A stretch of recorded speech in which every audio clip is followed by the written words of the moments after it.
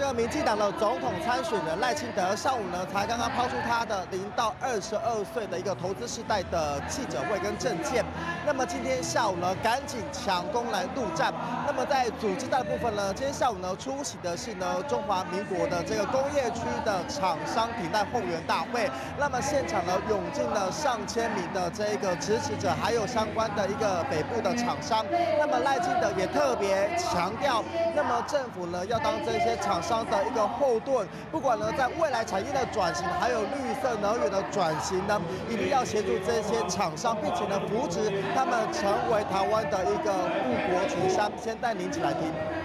我给大家报告，中小企业在台湾差不多一百五十几万间呐。那用公司的比率九十八趴左右，台湾的公司企业九十八趴拢中小企业。但是中小企业提供台湾八十趴左右的工作机会哦。换一句话讲，中小企业乃稳，中小企业乃在，就业机会会稳定，台湾社会就会和谐。大家讲是毋是？大家讲是毋是？所以未来咱经济发展除了要继续壮大科技产业以外，爱特别关心中小企业所遇到问题。好了，记得也强调说呢，如果他当选的话呢，会跟这些厂商站在同一阵线。